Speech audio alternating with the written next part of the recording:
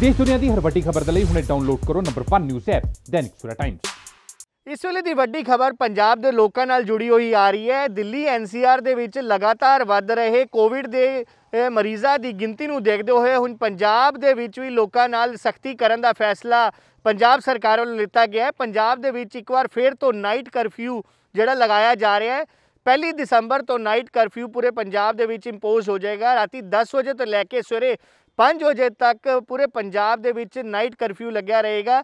ਇਸ ਤੋਂ ਇਲਾਵਾ ਹੋਟਲ, ਮੈਰਿਜ ਪੈਲੇਸ ਤੇ ਰੈਸਟੋਰੈਂਟਸ ਦੇ ਜਿਹੜੇ ਸਮਾਂ ਹੈ, ਉਸ ਨੂੰ ਬੰਦ ਕਰਨ ਦਾ ਸਮਾਂ ਵੀ ਹੁਣ ਰਾਤ 9:30 ਵਜੇ ਕਰ ਦਿੱਤਾ ਗਿਆ ਹੈ। ਇਹ ਤੇ ਇਹ ਲਗਾਤਾਰ ਜਿਸ ਤਰੀਕੇ ਨਾਲ ਪੰਜਾਬ ਦੇ ਵਿੱਚ ਵੀ ਮਰੀਜ਼ਾਂ ਦੀ ਗਿਣਤੀ ਦੇ ਵਿੱਚ ਵਾਧਾ ਹੋ ਰਿਹਾ, ਉਸ ਨੂੰ ਦੇਖਦੇ ਹੋਏ ਪੰਜਾਬ ਸਰਕਾਰ ਵੱਲੋਂ ਇੱਕ ਵੱਡਾ ਫੈਸਲਾ ਲਿੱਤਾ ਗਿਆ ਹੈ।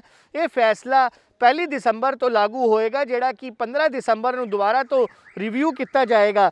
ਇਸ ਤੋਂ ਇਲਾਵਾ ਅਗਰ ਗੱਲ ਕਰੀਏ ਜਿਹੜੇ ਕਿ ਕੋਵਿਡ ਨਿਯਮਾਂ ਦੀ ਜਿਹੜੀ ਉਲੰਘਣਾ ਕਰਨ ਦਾ ਜਿਹੜਾ ਪਹਿਲੇ ਫਾਈਨ 500 ਰੁਪਿਆ ਸੀਗਾ ਯਾਨੀ ਕਿ ਮਾਸਕ ਅ, ਤੇ ਸੋਸ਼ਲ ਡਿਸਟੈਂਸਿੰਗ ਦਾ ਜਿਹੜਾ ਫਾਈਨ ਲੱਗਦਾ ਸੀਗਾ ਉਹ ਹੁਣ ਵਧਾ ਕੇ 500 ਤੋਂ 1000 ਕਰ ਦਿੱਤਾ ਗਿਆ। ਯਾਨੀ ਕਿ ਪੰਜਾਬ ਦੇ ਲੋਕਾਂ ਨੂੰ ਹੁਣ ਮਾਸਕ ਨਾ ਪਾਉਣ ਤੇ 1000 ਰੁਪਇਆ ਚੁਕਾਣਾ ਪਏਗਾ। ਇੱਕ ਵੱਡਾ ਫੈਸਲਾ ਪੰਜਾਬ ਸਰਕਾਰ ਦਾ ਕਹਿ ਸਕਦੇ ਆ ਜਿਸ ਨੂੰ ਦੇਖਦੇ ਹੋਏ ਹੁਣ ਜਿਹੜਾ ਪੰਜਾਬ ਦੇ ਵਿੱਚ ਵੀ ਕੋਵਿਡ ਦੀ ਜਿਹੜੀ ਸੈਕਿੰਡ ਵੇਵ ਆ ਰਹੀ ਹੈ ਉਸ ਨੂੰ ਦੇਖਦੇ ਹੋਏ ਫੈਸਲਾ ਅ, ਪਹਿਲੀ ਦਸੰਬਰ ਤੋਂ ਲਾਗੂ ਕੀਤਾ ਜਾਵੇਗਾ।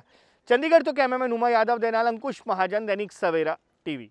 All world open challenge 17 time gold medalist Mian Rafiq Mohammad पंडित मौलवी बेगम तांत्रिक इन चोरा ठगा तो सावधान स्पेशलिस्ट वशीकरण सट्टा नंबर लव मैरिज पति पत्नी च अनबन विदेश च पक्का होना कारोबार दा ना चलना सिर्फ़ 31 ਘੰਟਿਆਂ ਵਿੱਚ ਸਮਾਧਾਨ free free free Mian Rafiq Muhammad mobile 8434494647 84374 94648